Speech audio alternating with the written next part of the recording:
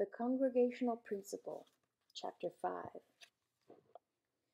This talk, eventually one of the most popular arrows in my peri- peripatetic speaker's quiver, began life in a slightly altered form as an essay in the Maine Scholar. The beginning of an, of an American solution to our school problem. These are surrealistic times. The scientific school establishment continues to float plans for further centralization in the form of national standards, a national curriculum, and improved national standardized testing. Magical promises are everywhere. Machines are the answer. Massive interventions are the answer. New forms of preschooling are the answer. Baseball bats, bullhorns, and padlocks are the answer. In the face of a century and a half of searching for it unsuccessfully, nobody seems to doubt for a minute that there is an answer. One answer. The one right answer. Perhaps you agree, perhaps not. But if some lingering doubt exists in your mind about the possibility of a central prescription ever touching the school disease, then come with me for a while back to colonial New England, where a different kind of theory of institutions existed, a theory which might lead to the best kind of rethinking reform where serious mistakes are self-limiting and, in historical terms, quickly foreclosed by natural market mechanisms. Come with me to the coasts of colonial New England, to towns like Salem and Marblehead, Framingham and Dedham, Wellfleet and Provincetown. Consider a different perspective that grew out of the soil of a new world, a perspective that shocked other nations with the productivity of its genius. This new system began with the first Puritan church at Salem, organized in 1629 by the so-called Salem Procedure. No higher up was around to approve the selection of the church authorities, so the congregation took that responsibility upon themselves. With that simple act, they took power that had traditionally belonged to some certified expert and placed it in the hands of people who went to church. That was the sole criterion of governance, that a voter took going to church seriously and joined a congregation as evidence. It was an act of monumental localism. For the next 200 years, the simple shedding of traditional authority corroded the monopoly power of the state and church to broadcast uniform versions of the truth. Each separate congregation took a vigorous role in particularizing its own parish through debate of lay members, not through the centralization inherent in pronouncement by outside authority. Each separate congregation took on responsibility for solving its own problems, whether of education, economics, or doctrine, rather than submitting to the old authority of England or the new aristocracy of expertise. Last fall I spoke in the town of Dedham at a church built in 1638, only nine years after the Arbella brought the nonconformists to Boston. The church I spoke in was Unitarian Universalist, but had originally been Congregational. White spire, strikingly plain, graceful lines, the simplicity and the rightness of Congregational church architecture is absolutely unmistakable, un, uh, sorry, unmistakable, remarkable, and uniform. You may or may not be aware that the style of worship that went with this style of architecture was the original and exclusive religion of the Massachusetts Bay Colony. From the Salem procedure until 1834, over 200 years of what seems on the surface to be a one right way religion. You were either a Congregationalist or you weren't anything you dared speak of in public, at least without risk of being shunned, persecuted, or even burned at the stake. So far, this sounds even worse than the school monopoly that ruins us, doesn't it? These Congregationalists were so jealously protective of their monopoly that 170 years ago, when Lyman Beecher got word that Unitarians were on their way out from the bowels of hell, he rode through the streets just like Paul Revere, warning, The Unitarians are coming! The Unitarians are coming! You'll gather Parson Beecher wasn't exactly thrilled with their advent, but an amazing thing happened over the next century. The Congregationalists slowly changed their minds without being forced to do so. By the end of the 1800s, the Unitarians were, were well respected throughout New England. Most people think of colonial New England as embodying the greatest period of conformity this country has ever seen. But the nature of congregationalism hides a very great irony. Structurally, this way of life demands individuality, are their own oops, demands individuality, not regimentation. The service is almost free of liturgy, emphasizing local preaching about local issues. This virtually guarantees dissonance inside the congregation. The constant struggle for clarity by every church member acting as his or her own priest, his or her own expert, invariably leads to progress toward truth. Why do I say that? Well, what I've just described is the process that Aristotle and Karl Marx and Thomas Hobbes and any of a large number of creative thinkers have called the dialectic. The congregational procedure was dialectical down to its roots, in a way acutely hostile to hierarchical thinking. Central planners of any period despise the dialectic because it gets in the way of efficiently broadcasting one right way to do things. Half a century ago, Bertrand Russell remarked that the United States was the only major country on earth that deliberately avoided teaching its children to think dialectically. He was talking about 20th century America, of course, the land of compulsory government schooling, not the New England of congregational distinction. Did you wonder where Yankees got their lasting reputation for stubbornness, orneriness, and shrewd hair splitting? Now you know. Roger Williams saw as clearly as any person of his time, and recognized the inevitable connection between dissonance and quality of life. You can't have one without the other.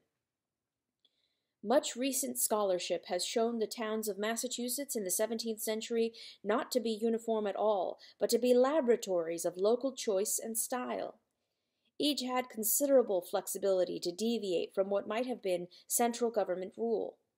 The town of Dedham, where I spoke last fall, drew its original settlers from East Anglia in England, a place that favored private ownership and individual choice. The institutions of East Anglia quickly established themselves in the New World, too. On the other hand, Sudbury, the town next to Dedham, had been populated by a colonist of by colonists of Saxon and Celtic background, who traditionally shared their work. Just as they had done in Britain, they held open fields in common, in common in America. In colonial Massachusetts, then, there was creative tension between the common culture of the region and the local village culture. Like tension in music or poetry between a regular pattern and a creative and creative departures from it. This tension among the small towns and among the different congregations and inside each separate congregation produced an astonishing energy, a fertile and idiosyncratic peculiarity that characterized the particular genius that distinguished colonial Massachusetts. Now I want us to examine something that seems embarrassing in New England's civil life, and yet paradoxically I think it hides a secret of great power, which the social engineers who built and maintain our government monopoly schools are forced to overlook. Each town was able to exclude people it didn't like. People were able to choose whom they wanted to work with, to sort themselves into a living curriculum that worked for them. The words of the first Dedham Charter catch this feeling perfectly. The original settlers wanted to and did shut out people whose di- people whose dispositions do not suit us, whose society will be hurtful to us. So, in a funny way, these early towns functioned like selective clubs or colleges, like MIT and Harvard do today, narrowing human differences down to a range that could be managed by them humanely. If you consider the tremendous stresses the dialectical process sets up anyway, where all people are their own priests, their own final masters, it's hard to see how a congregational society can do otherwise. If you have to accept everyone, no matter how hostile they may be to your own personality, philosophy, or mission, then an operation would quickly become paralyzed by fatal disagreements.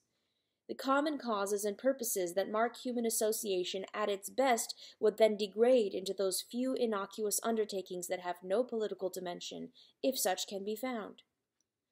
It's a subtle distinction.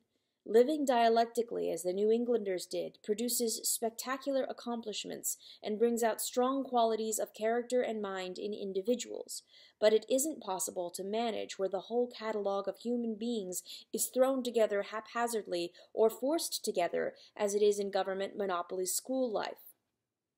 To prevent chaos in these places, management must aim, by hook or by crook, to make everything time, space, texts, and procedures as uniform as possible. The Greeks had a story about a man who did just that. His name was Procrustes. He cut or stretched travelers to fit his guest bed. The system worked perfectly, but it played havoc with the traveler. These New Englanders invented a system where people who wanted to live and work together could do so. Yet the whole region seemed to prosper in wonderful ways, materially, intellectually, and socially. It was almost as if by taking care of your own business, you succeeded in some magical fashion in taking care of, of pubic business, I think is public business, pubic business too. The habits of self reliance, self respect, fearlessness, democracy, and local loyalty produce good citizens.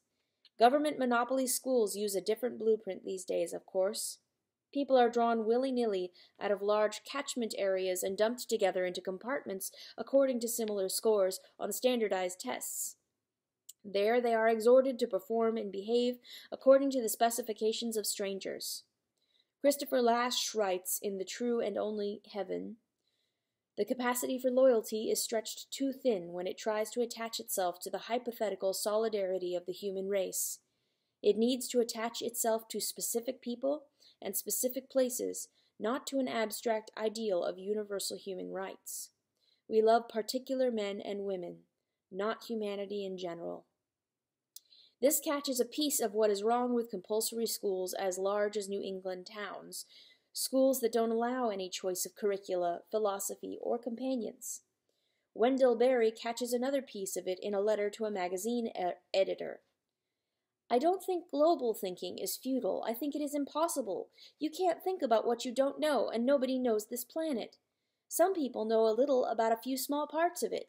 The people who think globally do so by abstractly and statistically reducing the globe to quantities. Political tyrants and industrial exploiters have done this most successfully. Their concepts and their greed are abstract, and simplicity to acts. Sorry, their concepts and their greed are abstract, and their abstractions lead with terrifying directness and simplicity to acts that are, invari- that are invariably destructive. If you want to do good and preserving acts, you must think and act locally. The effort to do good acts gives the global game away. You can't do a good act that is global. A good act, to be good, must be acceptable to what Alexander Pope called the genius of the place. This calls for local knowledge, local skills, and local love that virtually none of us has, and that none of us can get by thinking globally. We can get it only by a local fidelity that we would have to maintain through several lifetimes. I don't wish to be loved by people who don't know me. If I were a planet, I would feel exactly the same way. Local skill, local knowledge, local love, and local fidelity were what the forge of Congregationalism in New England produced best, but there was a negative side to this localism as well. The religious discrimination of early New England was a way of ensuring enough local harmony that a community of people who suited each other could arise bearing a common vision. Here is a scene from 300 years ago in the town of Dedham, Massachusetts, which could have been witnessed from the very church where I spoke. Three Quaker women are stripped to the waist and whipped the length of town, tied to the tail of a cart. It would be an understatement to say that such treatment underlined the fact that the Quaker disposition was not one of those suited to Dedham. But then, for that matter, for that matter, neither was the Presbyterian disposition. John Milton himself had written that the new presbyter is but old priest writ large. And so all Presbyterians were driven off to the wilds of New Jersey, where they founded Princeton. Of course, it was equally bad for your health to be a Catholic in Dedham, or to be a leveler, a digger, or a Hutterite. In this detestable fashion, Dedham was able to enjoy 234 years of religious purity before its congregational monopoly was broken. Well, what does this all mean? Just this. The negative side of local choice is very easy to see, and even very easy to predict. We see it illustrated in the example of colonial Dedham. But the whole matter is a good deal more complicated than assigning a bad grade to religious discrimination or to any other type of social choice that prescribes and limits a particular kind of human association. For instance, where could we begin to look for an explanation of how these people grew gradually more tolerant and came to accept all forms of religion? They even changed their conservative ways to the point where Massachusetts gained a national reputation as the most liberal state in the Union. That's quite a flip flop to account for in the absence of compulsion, intimidation, or potent enabling legislation, isn't it? How did Dedham and the rest of those towns teach themselves to reform without experts making them do it and without central intervention? Remember, they only allowed the practitioners of one religion to vote, but they changed, and nobody forced them to do it. Something mysterious inside the structure of Congregationalism worked to have them abandon some of the exclusivity and that adherence to biblical elite dogma had taught them. I am certain that something was nearly unconditional local choice, and it was self correcting. Because the town churches did not team up to present an institutional orthodoxy that made each town just like another, as government monopoly schools do today, error in one church could be countered by its correction in another. As long as people had the choice to vote with their feet, the free market punished severe errors by leaving a congregation empty just as it could reward a good place by filling it up. And even if enough rotten people were found to make a rotten town or a rotten congregation, as long as there was no machinery in place for that one idea to compel all others to bow down before it, the human damage it could cause was strictly limited. Only when situations exist out of which a central orthodoxy can arise, like a pyramid, is there a real danger that some central poison can poison us all. Yes, the negative aspects of local choice are easy to spot, and the overwhelming argument in its, in its favor that without it the genius of democracy cannot exist is hard to see. Because there is plenty of local tyranny as well. The temptation is to cede power to a central authority in the name of fairness, to manage some best way for all from central headquarters. That's what a national curriculum is supposed to be for our schools a rational, fair way to legislate bad schooling out of existence. A national curriculum would never have allowed Dedham, or Sudbury, or Framingham, or Wellfleet to develop as they did. That would have been dangerous, unpredictable, divisive. No, they would have been regulated centrally, as our schools are today, even without a national curriculum and national standards. And here comes the dialectic. The experience of our centrally planned century has not been very good for most people. According to some, the planet itself is in jeopardy. And things legislated out of existence, like alcohol and drug abuse or racism, don't seem to go away as religious exclusivity went away naturally in New England under a regime of local choice. Instead, law appears to give bad habits an injection of virulent new life. Think of the great progressive victories won in courts because social engineers were unable to build popular consensus or were unwilling to wait. Affirmative action, desegregation, restrictions on graphic sexual imagery available at the local newsstand, various women's rights issues, and so on. Are these victories for the groups the courts sought to protect, or do these victories hold the same value they would have had they been won through change in the social consensus? By most parameters, the plight of black Americans, for example, now seems to be worse than it was in the 1960s. Furthermore, a mean spiritedness seems to exist everywhere, including in our schools, that pours contempt and neglect on further efforts to give the descendants of slavery a hand. The predicament of women is a little trickier to see, but if sharply accelerated rates of suicide, heart disease, emotional illness, sterility, and other pathological conditions are an indicator, the admission of women en masse to the unisex workplace is not an unmixed blessing. Further, some disturbing evidence exists that the income of working couples in 1990 has only slightly more purchasing power than the income of the average working man did in 1910. In effect, two laborers are now being purchased for the price of one, an outcome Adam Smith or David Ricardo might have predicted. And an unseen social cost of all of this has been the destruction of family life, the loss of home as sanctuary or haven, and the bewilderment of children who, since infancy, have been raised by strangers. Does central legal intimidation produce the social results it promises? Not so long ago, narcotics were legal in the United States. While they were always a pernicious nuisance, they never became an epidemic before legislation pro- prohibiting their use came into existence. Is it possible that compelling people to do something guarantees they will do it poorly, with a bad will, or indifferently, unless you are willing, as the army is, to suspend most human rights and use any degree of intimidation necessary? And if the latter is the only way that compulsion can produce results, what is the human value of using it if it diminishes the quality of human life?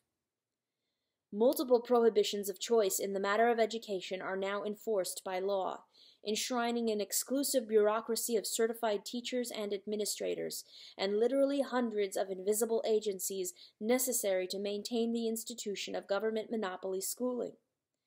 Defying the lessons of the market, this psychopathic megalith has grown more and more powerful in spite of colossal failures to educate throughout its history.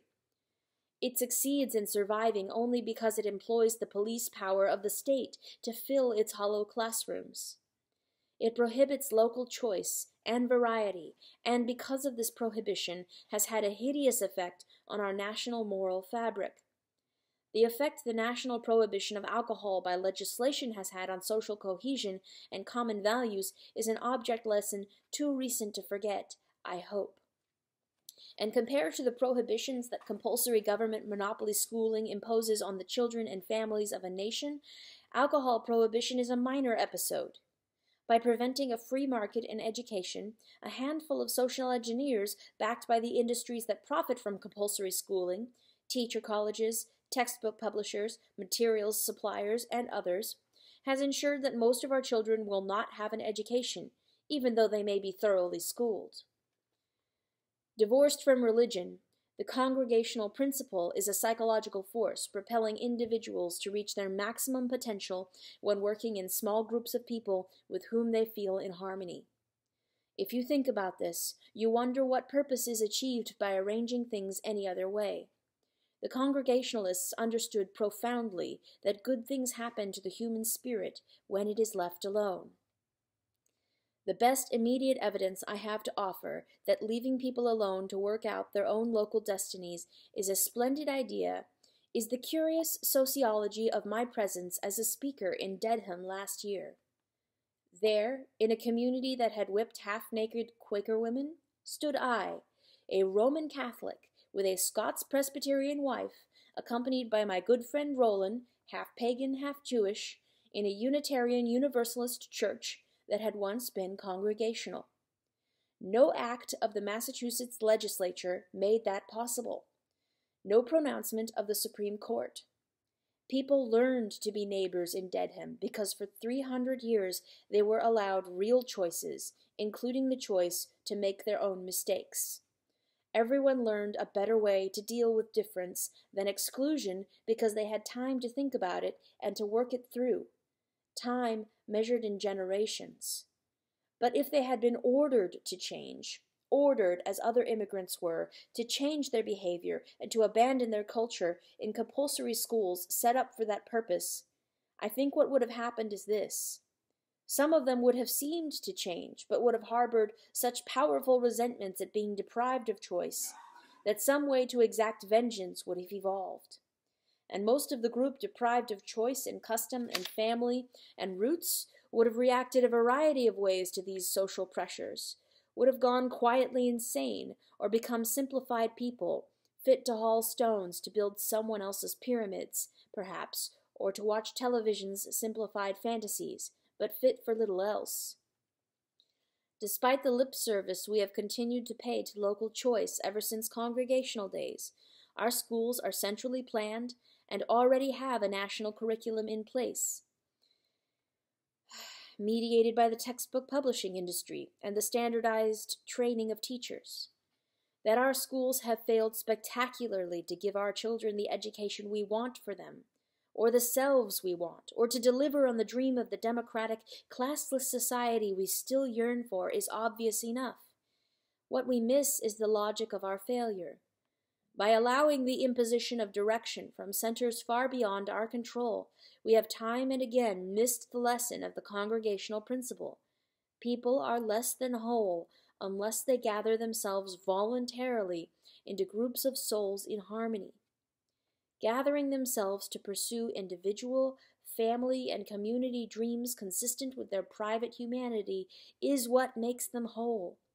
Only slaves are gathered by others. And these dreams must be written locally, because to exercise any larger ambition without such a base is to lose touch with the things which give life meaning self, family, friends, work, and intimate community. There seem to me to be two official ways to look at the state of education in the United States these days, both of them wrong. First, we conceive it to be an engineering problem that can be made to yield to a pragmatic instrumental approach. From this vantage point, there is a simple right and wrong way of schooling, never the thousand private individual possibilities the New England Congregationalists might have believed in. Second, we look upon schooling as if it were a character in a continuous courtroom drama, a drama wherein we search for the villains who have prevented our kids from learning. Bad teachers, poor textbooks, incompetent administrators, evil politicians, ill trained parents, bad children, whoever the villains may be, we shall find them, indict them, arraign them, prosecute them, perhaps even execute them. Then things will be okay. Out of these two wrong headed ways of looking at education have grown enormous industries that claim power to cure mass education of its frictions or of its demons in exchange for treasure. Into this carnival of magical thinking has come a parade of profit seekers, analysts, consultants, researchers, academic houses, writers, advisors, columnists, textbook committees, school boards, testing corporations, journalists, teachers' colleges, state departments of education, monitors, coordinators, manufacturers, certified teachers and administrators, television programs, and hordes of school related businesses, all parasitic growths of the government monopoly over the school concept. To many of us, the greatest attraction of social engineering and antisocial demonologies is that both, at bottom, promise a quick fix. That has always been the dark side of the American dream. The search for an easy way out, a belief in magic, the endless parade of promises that constitutes the heart of American advertising, one of the largest of our national enterprises, testifies to the deep well of superstition in our national foundation, which has been institutionalized in the advertising business. Easy money, easy health, easy beauty, Easy education, if only the right incantation can be found. Lurking behind the magic is an image of people as machinery that can be built and repaired. This is our Calvinist legacy calling to us over the centuries, saying that the world and all its living variety is just machinery, not the very hard not very hard to adjust if we put sentimentality aside and fire the villains either symbolically or with actual bonfires, depending on the century. School reform to most of us is an engineer reaching for the right wrench, or Perry Mason finding the clue he needs to nail the bad guy. Ultimately, how we think about social problems depends on our philosophy of human nature. What we think people are, what we think they are capable of, what the purposes of human existence may be, if any. If people are machines, then school can only be a way to make these machines more reliable. The logic of machines dictates that parts be uniform and interchangeable, all operations time constrained, predictable, economical. Does this sound to you like the schools you attended, that your children attend? The Civil War unfortunately demonstrated beyond the shadow of a doubt both the financial and social utility of regimentation. But while this notion of people as machines has been around for thousands of years, its effective reign has only been operational since the end of World War I. American education teaches by its methodology that people are machines. Bells ring, circuits open and close, energy flows or is constricted, qualities are reduced to a numbering system. A plan is followed of which the machine parts know nothing. Octavio Paz from Mexico, the 1990 winner of the Nobel Prize for Literature, has this to say about our schools. In the North American system, men and women are subjected from childhood to an inexorable process. Certain principles contained in brief formulas are endlessly repeated by the press, radio, television, churches, and especially schools. A person imprisoned by these schemes is like a plant in a flower pot too small for it. He cannot grow or mature. This sort of conspiracy cannot help but provoke violent individual rebellions. We cannot grow or mature, like plants in too little flower pots. We are addicted to dependency. In the current national crisis of maturity, we seem to be waiting for the teacher to tell us what to do. But the teacher never comes to do that. Bridges collapse, men and women sleep on the streets, bankers cheat, goodwill decays, families betray each other, the government lies as a matter of policy, corruption, shame, sickness, and sensationalism are everywhere. No school has a curriculum to provide the quick fix. The old Congregationalists would have been able to put their finger at once on the reason pyramidal societies, such as the one our monopoly form of schooling sustains, must always end in apathy and disorganization. At the root, they are based on the lie that there is one right way in human affairs, and that experts can be awarded the permanent direction of the enterprise of education. It is a lie because the changing dynamics of time and situation and locality render expertise irrelevant and obsolete shortly after it is anointed. Monopoly schooling has been the chief training institution of the Hive Society.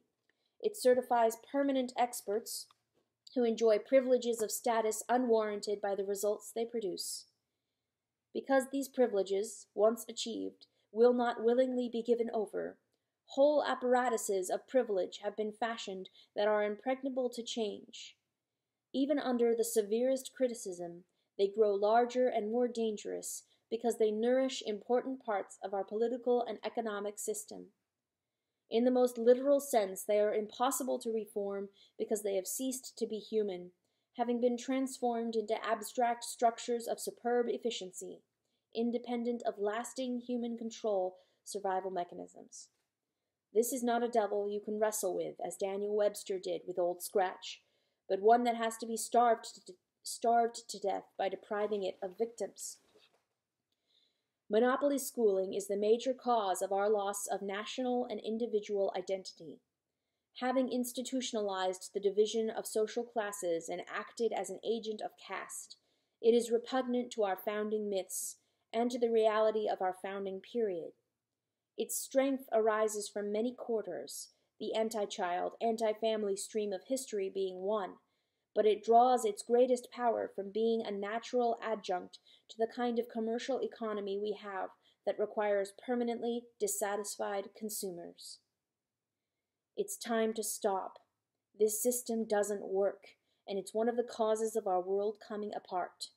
No amount of tinkering will make the school machine work to produce educated people. Education and schooling are, as we all have experienced, mutually exclusive terms. In 1930, 60 long years ago, Thomas Briggs, delivering the Inglis lecture at Harvard, charged that the nation's great investment in secondary education has shown no respectable achievement. Two decades later, in 1951, a survey made of 30,000 Los Angeles school children discovered that 75% of eighth graders couldn't find the Atlantic Ocean on a map, and most of them couldn't calculate 50% of 36. From my personal experience, I stand witness that the situation is certainly no better today.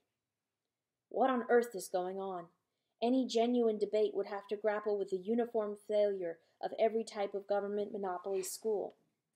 With the addition of television, the destructive power of schooling is now awesome and thoroughly out of control.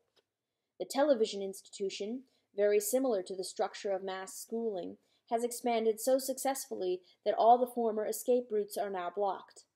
We have destroyed the minds and characters of the nation's children by preempting their youth, removing their choices. We will pay a huge price in lost humanity for this crime for another century, even if a way is found to overturn the pyramid. Getting rid of the monopoly is the beginning of an answer. What is there to do? Look to Dedham, to Sudbury, to Marblehead, and to Provincetown, all different, yet all capable of meeting their community's needs. Turn your back on national solutions and toward communities of families as successful laboratories.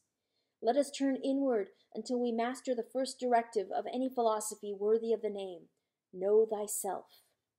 Understand that successful communities know the truth of the maxim good fences make good neighbors while at the same time being able to recognize, respect, understand, appreciate, and learn from each other's differences. Look to the congregational principle for answers. Encourage and underwrite experimentation. Trust children and families to know what is best for themselves. Stop the segregation of children and the aged in walled compounds. Involve everyone in every community in the education of the young. Business, institutions, old families, whole families look for local solutions and always accept a personal solution in place of a corporate one. You need not fear educational consequences. Reading, writing, and arithmetic aren't very hard to teach if you take pains to see that compulsion and the school agenda don't short circuit each individual's private appointment with themselves to learn these things. There is abundant evidence that less than a hundred hours is sufficient for a person to become totally literate and a self-teacher. Don't be panicked by scare tactics into surrendering your children to experts. Teaching must, I think, be decertified as quickly as possible. That certified teaching experts like me are deemed necessary to make learning happen is a fraud and a scam. Look around you the results of teacher college licensing are in the schools you see.